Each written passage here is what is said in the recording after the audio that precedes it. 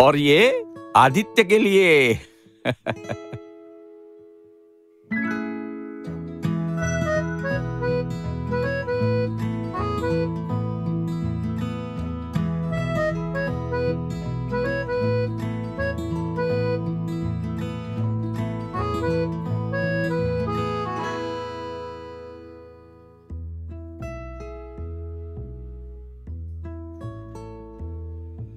दीदी के लिए लैपटॉप, मम्मी के लिए नेकलेस, पापा के लिए न्यू कार और दादू के लिए घड़ी।